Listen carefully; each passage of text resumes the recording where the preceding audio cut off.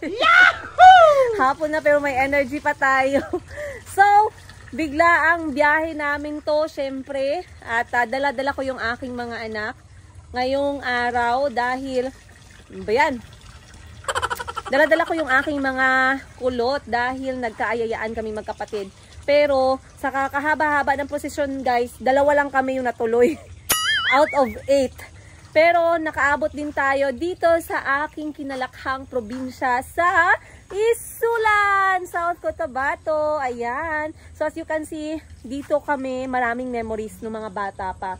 Hindi ko masyadong maikot ngayon kasi medyo madilim na. Pero bukas ipapakita ko sa inyo sa another episode. So ngayong gabi, papakita ko lang sa inyo yung routine namin dito kapag nandito kami sa probinsya. So, kadarating lang namin, nagpahinga lang kami ng isang oras from General Santos City papunta ng Isulan around 2 hours maximum.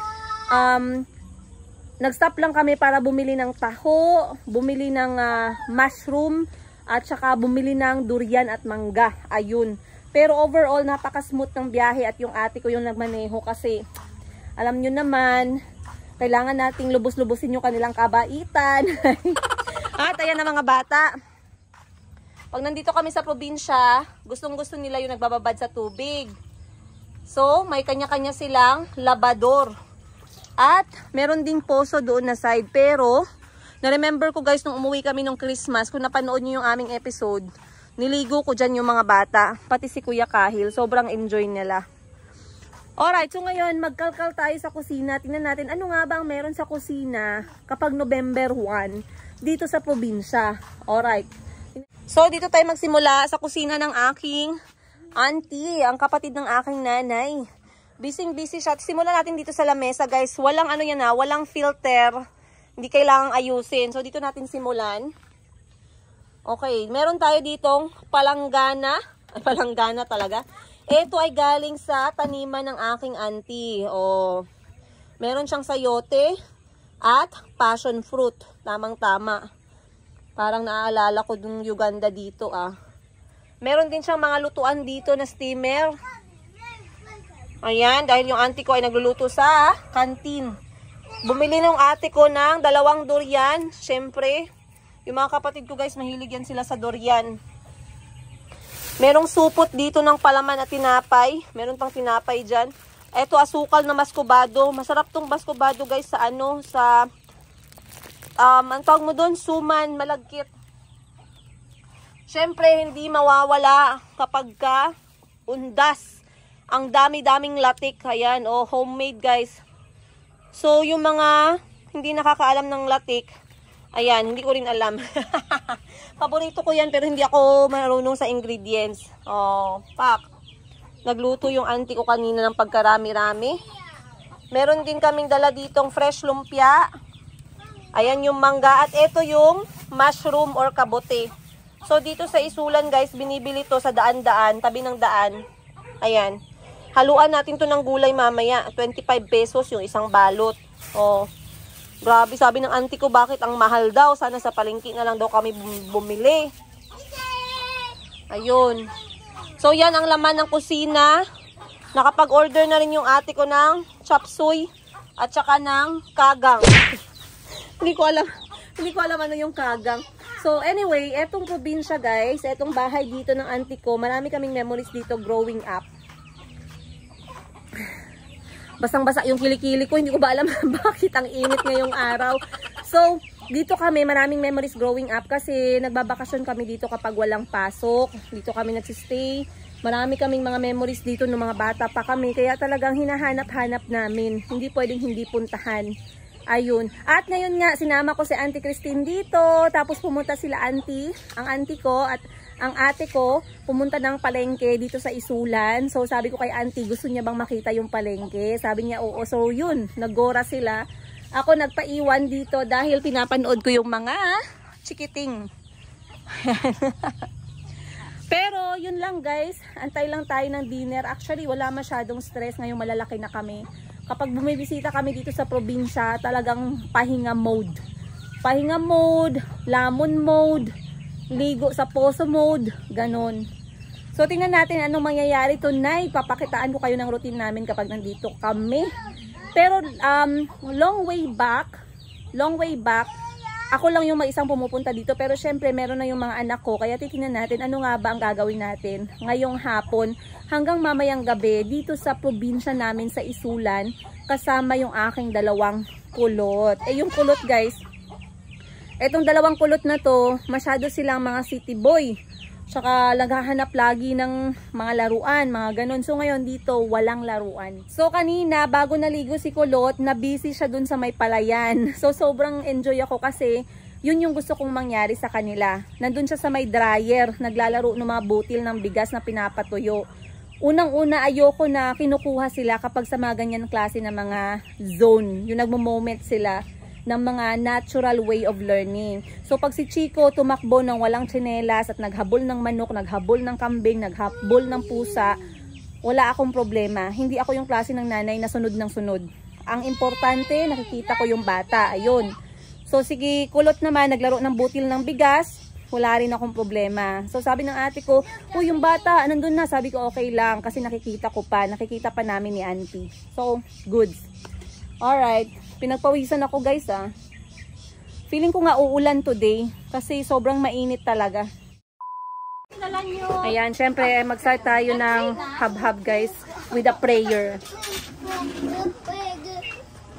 So auntie, I think auntie will will give us the honor of prayer tonight. Auntie, you will pray for our food. Just a short one.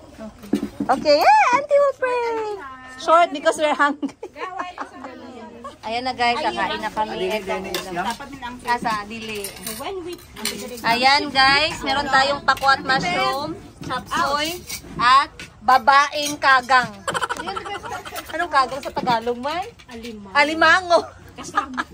Alimasag! Yes, alimasag!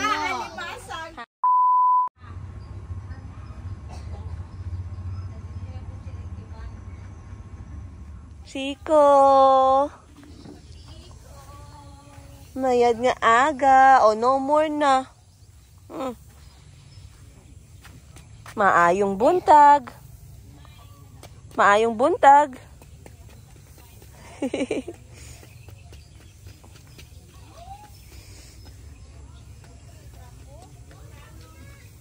Yan, maaga pa dito guys sa isulan. Ginaspread na yung mga palay para matuyo sa init ng araw. Bed boys pa yung lola ng bed boys. Ang pangit ng bed boys natin. Wala talagang kasexy-sexy ah. Ayun guys, maayong buntag 6.30 ng umaga dito sa Isulan, South Cotabato. Ang ganda ng sikat ng araw ngayon. Ayan. Oh. Dito na ako guys kasi habang nilinisan ng kapatid ko yung kotse ko. Charot. kotse niya. Nakisakay lang ako. Siyempre, libre ng gasolina. Guys, take the opportunity. Yahoo! Huwag tayo magpakipot-kipot. Kung, mas, kung makapal ang mukha natin sa iba, mas makapal ang mukha natin sa kapatid natin. Oh, Chico! Ch- Chico! Salamat! Kabugoy, kini akong kulot ah. Oh, oh dali na.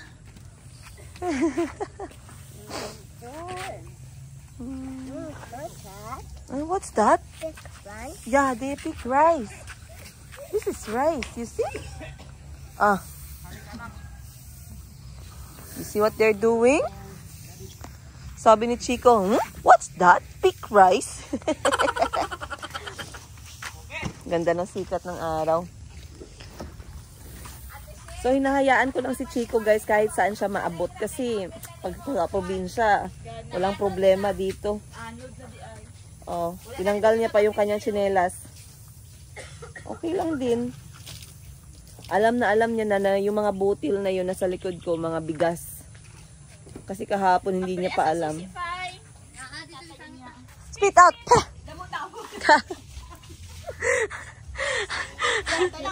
Kumain si Chico ng palay, guys. Who told you to eat the rice? You can't eat the rice. Giluwa niya. Giluwa niya gamay. Ha? Okay. Dahil hindi naman masyado busy guys, naglakad-lakad muna ako dito sa lupain ng mga may-ari. lupain ng may-ari. Nakita ko nga ito, meron silang pinapatuyo na kopras. Coconut. Ito na yung gagawin na mantika or coconut oil. Mm. Amoyin nga natin.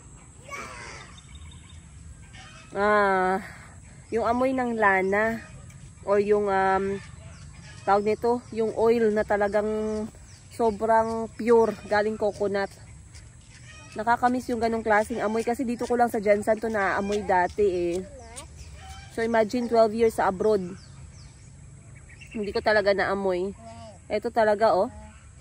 At ito kapag pwede mo siyang nguyain and then pag ah, medyo juicy na siya, ang ginagawa namin ng mga bata pa kami guys, ah, para sa buhok.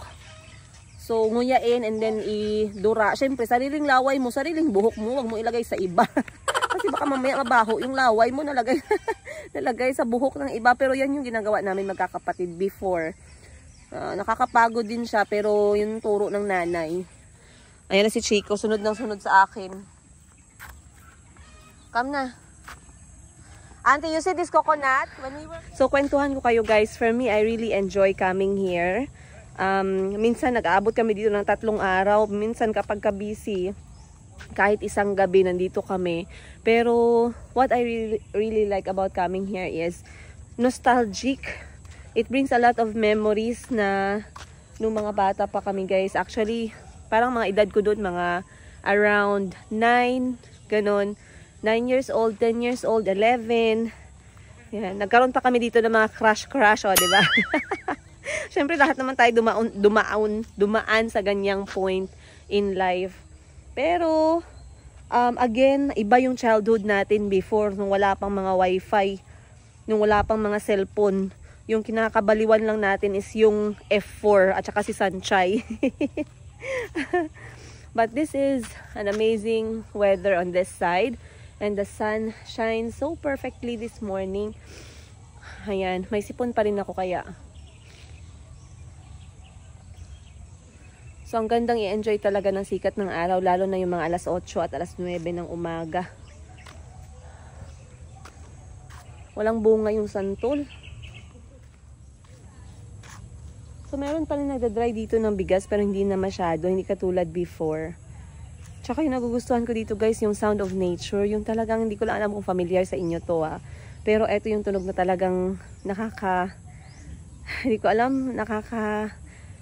ah pabongga ng feeling sa probinsya. Yung parang ibon na kukurukukukukuk. Lagi kong naririnig yan sa mga umaga or hapon or yung mga yung sobrang tahimik na ng mga oras. So, pag narinig ko yun, it always makes me smile. Yan. Nag-bring back ako sa inyo ng memories, flashback.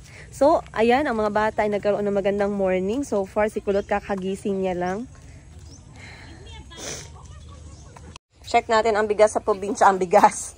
Ang breakfast natin sa probinsya. Ito guys, meron tayong natirang suman. Siyempre, hindi nawawala yung sausawan natin, toyo. O, sugbang isda. At meron tayong napakasarap na boiled gulay. Ano saan na gulay, ante? Kamuti ka. Kamote tops. And may pa-hotdog para sa mga batang kulot. Ayan na si auntie. Auntie, let's eat. Let's eat, let's eat. Let's eat.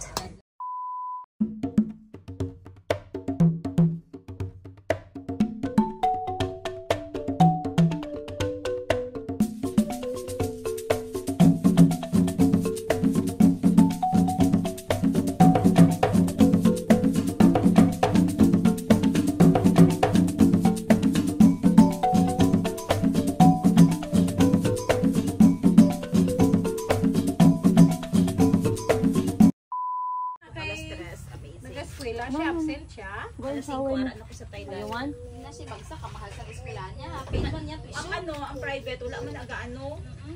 Tuition, tuition naman ang ila. Kap ang ang competitive gid ko mga kasi daw ka. ulo. kay mga public gid. Kita ko? Ang mga ano. Pati na wong? Okay, good. Ang public. Good sa sa ako, ah. Iingan gid na ako ang mga parents. Nalipat ko mag-agi ka gali. Mm, mm, na. Mag-ask kayo ako sa Palno, ma'am. Gusto rin ako ma-experience ang business class. Pwede ko may ipasting po sa business class. Ikaw, yung business class nila. Hmm. Malu ano magina Sila sila? naman, tumamala ka sa takwayan. Ah, di ay. Tara. Okay lang. Ako anyway, kubra. Auntie, come we see the vegetable. Come. Na dapat maligo. Bye. Wow, na lang ito. Sa iya nga prayer plant, oy. Bulak na ya bulak. Amo. Amo guys. Kinambalan, taka mo guys sa namin. Sa mga Planchaan. sa mga tono, sa ilonggo, guys, no? Gabi kita na ka sweet sweet. Bala bisan ka pangakig, no? so ngayon pupunta kami sa taniman ng takway. Sama. Ano auntie is here coming. Ah, it's okay auntie. Dili mo like klaro. Go na. Alright, so pupunta kami ngayon guys sa taniman ng takway kasi nung unang tikim ni auntie ng takway, yung parang stock ng gabi, nasarapan siya. So ngayon gusto namin makita yung source ng takway. Ayan si auntie tsaka si Chico.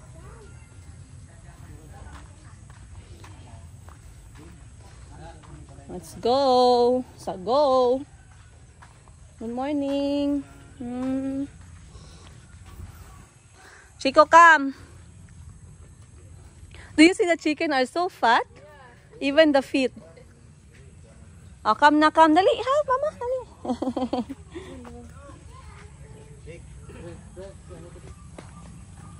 ah, my auntie already found some coconut. Ah, that's how they open. Ayan guys, check natin dito. Ang medyo madulas. Auntie, slippery. Yeah. Madu oh! Madulas.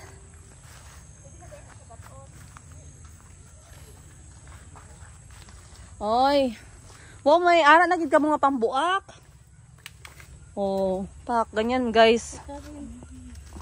Sa pangkopras na Hindi yan pwede sa bahay ko, baka magamit ko sa ibang bagay yan. Pag may galit tayo. Ah, you see auntie? Wow. No, Ito yung fresh source ng tubig. Ah, See the bridge? bridge. Bridge. Bridge. Yes, it's waterfalls.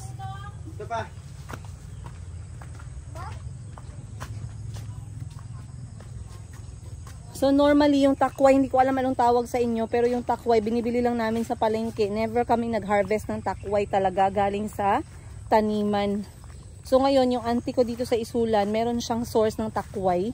Niya talagang dyan niya kinukuha kapag ka nagluluto siya. So, tingnan natin kung meron tayong ma-harvest ngayon. Sobrang sarap niyan pang adobo. Kahit na gulay lang, toyo, suka, okay na.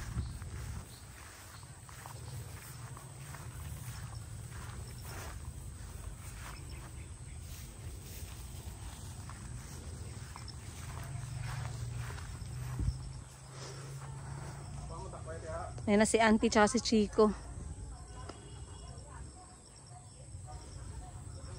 Ha!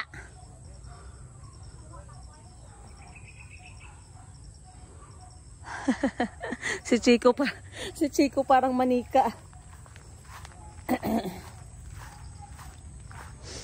hmm, napapatuyo din sila doon ng ah, buko, coconut. Dit Auntie, this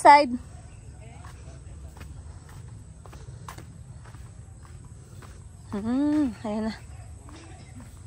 Ah, kasi 'di ba yung gabi, ay ano nasa tubig siya. Nama pa? Yung kuha nila? Yung tapas nila ang dito banda. Oh no. Hinarvest nila guys ang ating takway guys. Wala nang natira sa ating takway. May ara na dito. Ah, that's the one. That's the one, auntie. But they are a few. so it's actually, ano na siya, auntie, the ugat niya? Ah, it's like a root, a part of the roots. You, you want to see closer? Which type is this one? They don't go red. It's just green. They, they do the red ones. Mm. Now you see, auntie? Yeah, take a, a video. It's a nice video. You don't have coconut. Come, I take your photo there. Ayan. Here, auntie, be here in the middle. So I can see the shell and the coconut. You can tell your family that's one of our source of income. The coconut will dry. They process in the machine. They become oil. Alright, one, two, three. Okay. Get one coconut. You hold like this. Alright. Wait. Okay. One, two, three. And one, two, three. Uh, nice, auntie. And this one is just uh, fresh. So you see, you can bite. Spit put in the hair. Yeah, the oil like. It makes the hair very nice in a long run. Now for the shell, what we do with this shell, you can use it in a lot of things. You can use for serving food, like the one my auntie just cooked, the sticky one. Normally, you can serve it here, you pack it nicely, and you sell it to others. Yes, because that one is made of coconut milk. That one she was cooking, the very sticky one, made of sugar, brown sugar and coconut milk. Now some people, to make it really authentic, they serve it here, they package it well, and then you export, uh, you, you deliver all over Philippines. Can you imagine? Then if you don't remove the hair, which part? The hair, before the shell. right? Mm. If you don't remove that part, you can use this as a scrub on the floor. So you step on it, mm. like like this. Mm. When we were students way back, you just do like this. Shh, shh, Scrub the floor. Yeah. So now the hair from that coconut is the one. Yes, exactly. It makes the floor shiny. You understand? Yeah. So this one has a lot of uses. Lots of uses. Oh, this one is empty. Now the water of that they throw. They throw away. But some people, they still use it. Wow. Now you see, some coconut, they have the, they grow this white stuff inside. You can eat that separately. It tastes like, um, come, this one. So this is what grows inside the coconut. Some grows really big, as big as our hand. Try it. Uh-huh. How do you feel? Let me see. Let me try. Mm-hmm. Good. Yeah, it's good. Good. Mm, yeah, it's good. I don't see others anymore, but No. some some shells, auntie, you can open them and it's huge, like this. Mm. Then you bite on it. Mm, there, they are there on the side. Eh, mm. Yeah. Because some people they don't eat it, but some kids we like it. Growing up, we will fight for that thing. Ayan si Chico guys, sunod-sunod din sa amin. Sige, gusto mo talagang sumama, magdusa ka. Oh. Sorry. Okay, let's go. Help na auntie. Oh, okay, come, come. Give me that auntie. Ah. Come, come. I help you. Alright. Dali na, dali na kayo. We will, we will go on the... Come, I help you. Mm. Ah, ah, dali na. You don't want help. You don't want? So ngayon guys, pinapakita ko lang kay auntie yung talagang buhay dito sa Pilipinas. Maganda kasi na makita talaga, lalo na sa mga travel. Doon natin talaga nakikita yung raw life sa probinsya ng Pinoy. And of course, yung mga bata, andyan din. Hinog na? Ito, ara ko sa taas. Iya daw na. Ah, ipatapas niya. ah okay. Ano, karang panglungag. Oo. Banana, my auntie said she will give us. wow. That one is like matoke but our variety. Yeah. It can it yeah, it can go it's like gonja. It's matoke when it's green, but it becomes yellow, it's gonja. Ah, okay. Yeah. Binitbit ni auntie yung takway, guys. Auntie is going to Oh, this is the fast way of whipping out the coconut husk. Napa-English yung mga kapatid ko, guys. Mm. Pak. In I think in one minute you can do like 10. Oh, there even water. Okay, agi sa me. Up. Wait lang, last one. All right. Let's go. Bye. I'm coming. I'm waiting.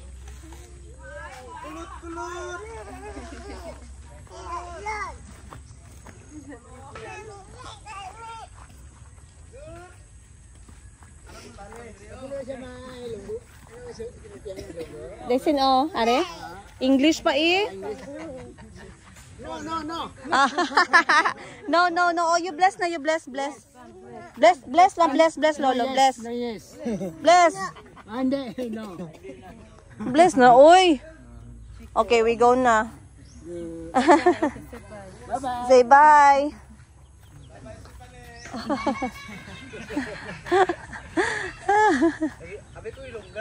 Wala pa, are? May dugo eh. Wala pa man. Sige lang ah. Sunod pa ah.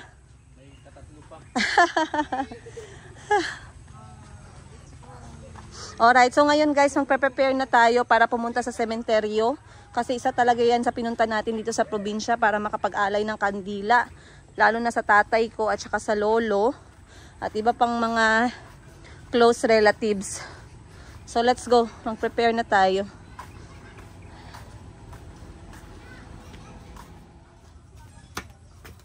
Alright guys, natapos din kami ngayong umaga at bisibisihan na ang all dahil oras na para mag-prepare at ngayon ay ang aming schedule papunta ng sementeryo.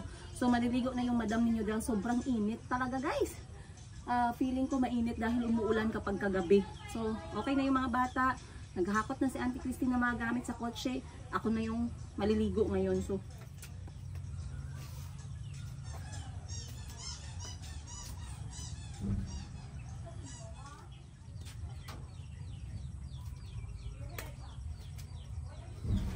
Sino kagamit Bremod? Bremod na shampoo. Daw na ba? Cancel? Hindi, Bremod nga brand. Ara, dara. Aray ko, nasabit pa yung chan ko guys. Ayan, Chivas Mango, at Green, Sweet and Spicy Alamang. Andito tayo guys ngayon. Kamusta man? Hello. Ay, dra ka lang dali. Ah, good morning. Nakita mo natin Christine kahapon? Oo, nagpicture Wow. kami sa, ano, Shivas. Auntie, you met her yesterday? yes? You want mango? Say hello first. Oh, grabe busy ka na ba? Early pa. Sana all kung makitang kabuhayan sa November 2. Pigado. Pila sa gang? Tulungan 100. O sige, papalitan mig tulo 100. Tulo 100 daw, Fai. Basta marunong ka lang talaga mag-think outside the box. Maraming pwedeng inegosyo sa Pilipinas. Katulad nito, eto na Jessica Soho yung mga ganito eh, yung prutas. Dito naman, green mango lang talaga siya yung native na mangga, na maliliit, yung walang buto. Ay, may buto pero na nabubuak ang lisa, nabubuak. And kare, homemade. Ah, sariling recipe. Ah? Sariling recipe ninyo ni siya? Umid naman siya. Homemade daw. Nice, Shivas. Ayan guys, nandito to sa may isulan, opposite ng um, Iglesia ni Cristo. Auntie, I will buy for you this one.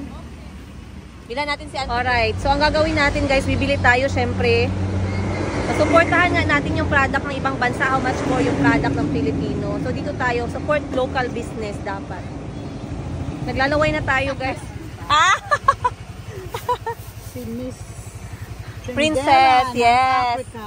Oh, 'di ba? Umabot pala tayo dito sa Isulan, guys. Oh. Oh, dali na. Oh, pak. Sige. Pakainin natin yung cameraman, guys, kasi ano lang to, walang sweldo. Ayan. Mm. Yep. Location. Location, Isulan. Highway. Along the highway. In front of in front road to going to Ayan, Tacarong, ayan. in front Iglesia. of Iglesia Cristo. So yung isang isang ganito guys is 35. Pero pag tatlo, tatlo 100. Ay, ang sarap ng alamang nila dito, homemade. 5.15. Ang dami pala nating pinili guys. Ano na lang yung ano, gang ako binitinigang. Nani mo ka talaga? Isa pa gandi rin na lang gang. Eternity later. Oh. Ayan guys, nagsindi na ako. So dito nakalibing yung aking tatay at lolo at uncle.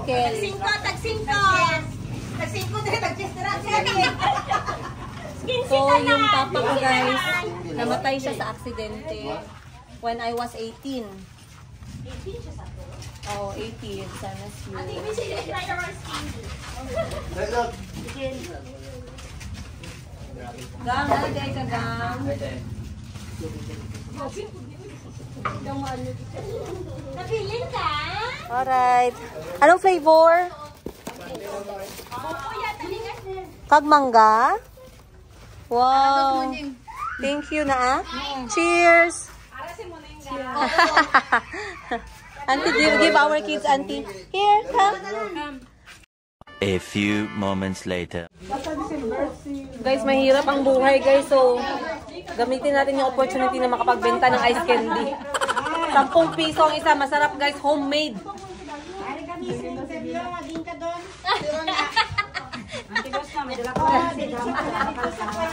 Ice candy!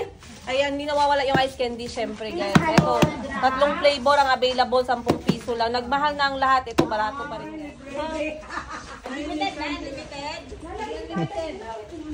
Ice candy ka. Ha? Libre man eh. Ay!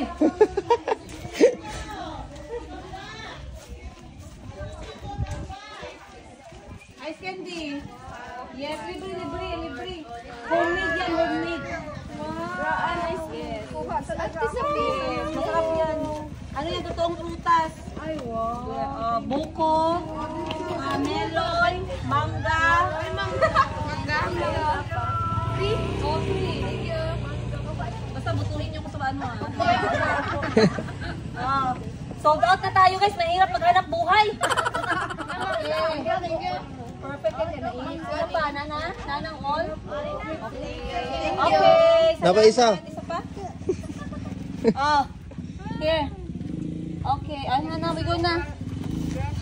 Okay. Bye-bye. Alright, guys. Salamat sa Ice Candy. 1, 2, 3 sa Ice Candy. Ice Candy! Ah!